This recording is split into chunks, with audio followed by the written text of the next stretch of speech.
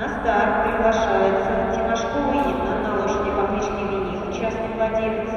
Их выступление называется «Рождественская сказка». Всадник выступает вне конкурса.